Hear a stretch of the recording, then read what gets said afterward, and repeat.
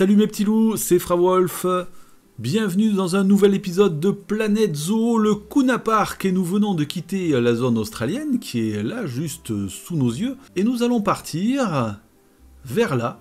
Alors ça c'était le pont pour relier, pour arriver à la zone euh, australienne. Nous quittons euh, nos célèbres kangourous, nous traversons ce magnifique pont, et nous arrivons ici, voilà, une zone africaine, et là c'est la partie savane africaine, parce qu'il y aura aussi une autre partie Afrique équatoriale, je vous en parle dans un instant. Le but aujourd'hui, c'est de vous montrer bah, les premiers euh, travaux, le premier boulot que j'ai pu faire euh, sur cette zone, de vous présenter euh, sommairement cette zone avant le prochain épisode où nous mettrons nos premiers animaux de la savane africaine. Allez, c'est parti pour la découverte les amis.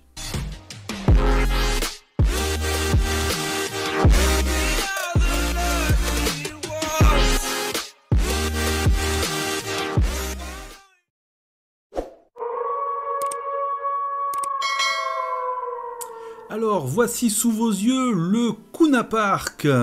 Alors, rappelez-vous bien, l'entrée du zoo, elle est ici, vous voyez, en bas, plutôt vers la gauche. Notre entrée est là.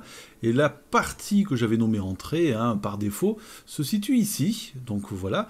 Euh, pourquoi est-ce que j'avais nommé cette partie entrée? Parce que, ben, comme dans une maison, elle permet de desservir la zone équatoriale africaine, qui est la zone qui nous restera à faire. On finira euh, par cette zone-là.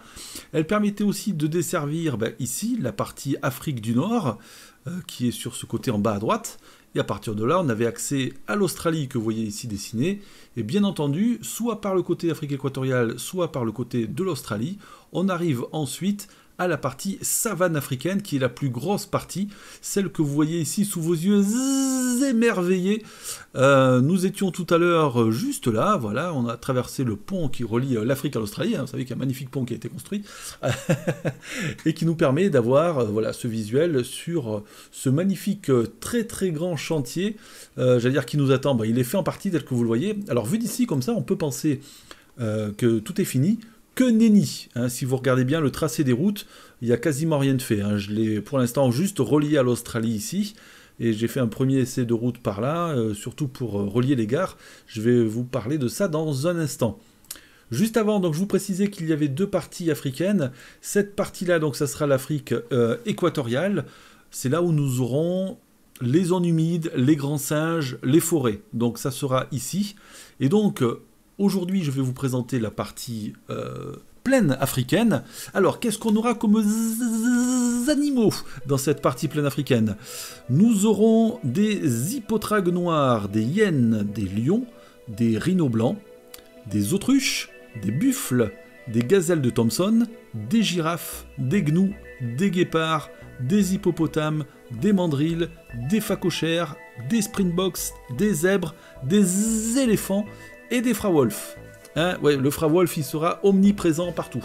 Voilà, donc j'espère que cette liste d'animaux vous plaira. Petite différence peut-être par rapport aux autres zones que j'ai pu faire ici, même si parfois il me semble qu'il y avait un ou deux enclos où il y a eu euh, plusieurs espèces.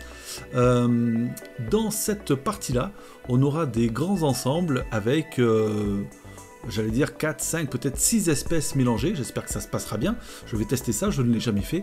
Et donc nous aurons plusieurs enclos un petit peu similaires avec à peu près les mêmes espèces de la savane.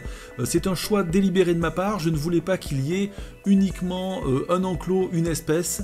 Donc je préférais avoir plein d'espèces euh, et plein d'enclos parce que ben, il y a des environnements géographiques différents et donc ça permettra de voir leur comportement différemment peut-être, de les observer différemment et dans un autre environnement géographique euh, et ça risque d'être pas mal. Je ne veux pas vous en dire plus, je ne veux pas plus polier. Ici, si vous regardez, si vous avez en tête la précédente carte, cette zone-là a été un petit peu changée. Hein. J'ai agrandi l'étang, j'y ai fait euh, euh, deux, belles îles.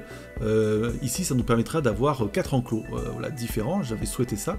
Donc ici, vous voyez un petit embarcadère. On aura un circuit touristique avec des bateaux qui feront le tour des îles, qui nous permettront bah, de voir les enclos qu'il y a ici, mais en même temps tout ce qui se passe à l'extérieur euh, de cet îlot central. C'est pour ça que je l'ai un petit peu recentré, parce qu'on va pouvoir voir pas mal de choses. Je reprends quelques instants ma vue satellitaire. Ouais, ne vous attendez pas à voir des animaux aujourd'hui, on verra pas. Euh, et puis je, vais laisser aussi, euh, il n'y aura aucune animation hein, dans le zoo. Euh, on est en travaux, je ne peux pas me permettre, je suis obligé de laisser sur pause, sinon comme je ne m'occupe absolument pas des animaux, je ne voudrais pas avoir des morts, des malades, etc. etc. Alors, ma petite vue satellitaire, pourquoi? Ben, C'est très simple. Ça nous permet de regarder un petit peu les différentes zones au niveau de... des monorails. Donc la gare centrale est ici, voilà, la gare de l'entrée. La ligne part par là, elle passe sous l'eau, et on arrive ici après, dans une nouvelle gare que j'ai euh, créée.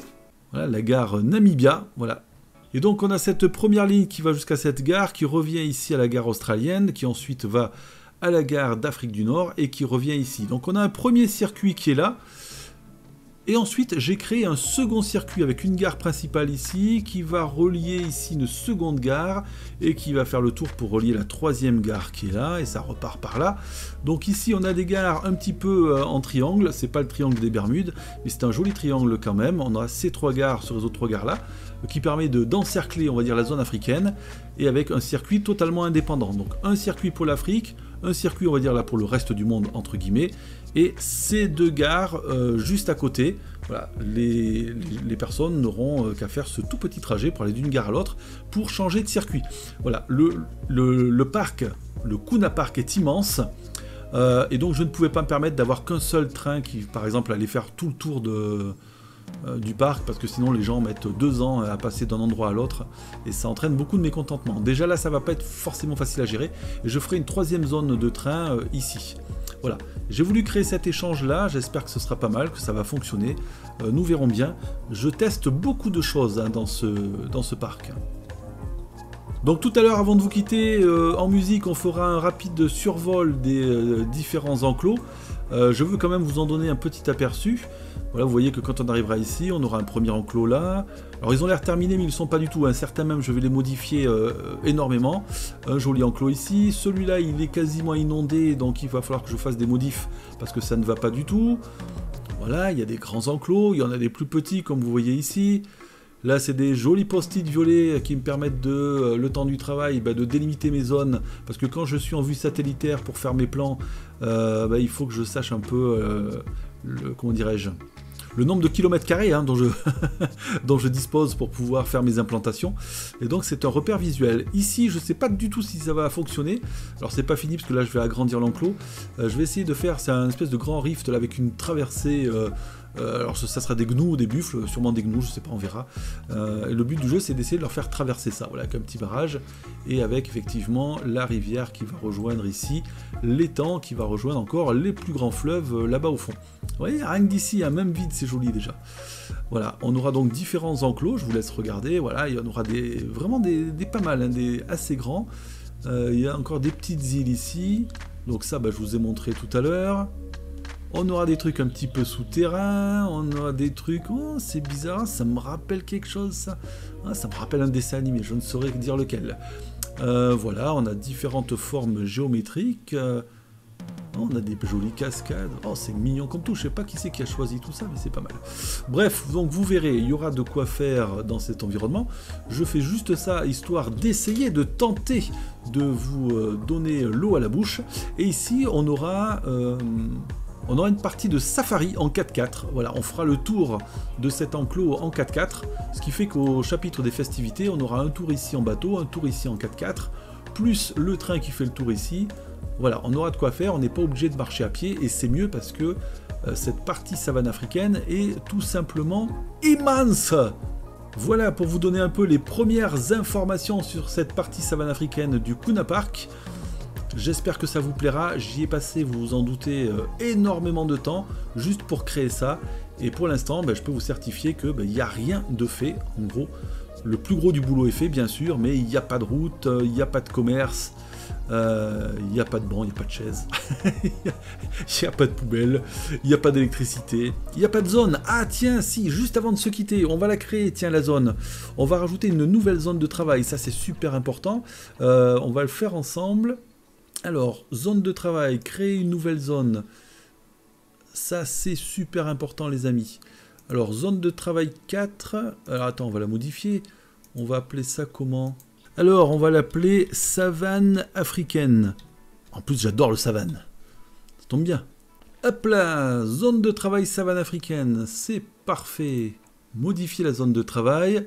Et donc là, maintenant, ben, on va essayer, alors, sans faire de bêtises, euh, ouais, d'y intégrer ça.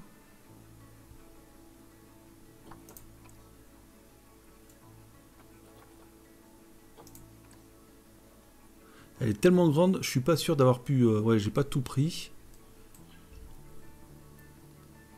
Euh, là, l'enclos est bien délimité. Voilà, on va y mettre ça aussi. Voilà, là je pense que j'ai à peu près tout pour l'instant. Et après, bah, à chaque fois qu'on y mettra un générateur, etc., il faudra les rajouter. Ok, donc vous voyez déjà la zone de travail savane africaine. Euh, bon, il n'y a pas de personnel, bien entendu. Euh, et on a 15 habitats. Hein. Donc vous voyez euh, l'entrée plus l'Afrique du... Pardon, l'Australie et l'Afrique du Nord, les deux ensemble, il y avait 15 habitats aussi. Et 3, 18 si on compte l'entrée, et là on en a déjà 15. Oui, le nombre de bâtiments est aussi énorme, et il y a déjà quelques salles du personnel. Mais bien entendu, on est loin d'avoir tout fait, il faudra euh, énormément augmenter tout cela. Voilà, j'espère que ce tout petit aperçu vous aura donné envie de voir les prochains épisodes du Kuna Park, les amis. Euh, j'espère que ça va vous plaire. Euh, je travaille vraiment à fond, à fond pour ça. Je voulais vous donner quelques nouvelles avant le prochain épisode où nous accueillerons nos premiers euh, animaux. Alors, je pense qu'on commencera de ce côté-là du parc. Hein. Rien n'est moins sûr, mais voilà, je, pense que dans mon plan de travail, on démarrera par là, et ensuite on fera la partie centrale, et on terminera par cette partie-là. Hein. ce qui est logique, puisque on va aller de droite à gauche pour ensuite, une fois qu'on sera arrivé ici, enquiller direct sur la partie euh, tropicale. Voilà, j'espère que cette petite présentation vous aura plu. Si c'est le cas, ben, n'hésitez pas à lâcher un gros, un énorme pouce bleu. Ça me fera tellement plaisir et ça récompense beaucoup de travail. Je précise, c'est pas pour me faire plaindre, mais euh, franchement les gars, je peux vous dire que je bosse, c'est énormément de boulot. Ceux qui connaissent ce jeu euh, le savent certainement. Donc merci pour le gros pouce bleu que vous aurez lâché. Et ben, si vous n'êtes pas abonné, profitez-en, abonnez-vous, comme ça vous serez averti des prochaines sorties et des prochains épisodes sur le Kuna Park. Ça sera pas mal. Voilà, je vous laisse en musique avec quelques images de ce magnifique parc et je vous dis à très très bientôt les amis. Merci encore. Ciao ciao.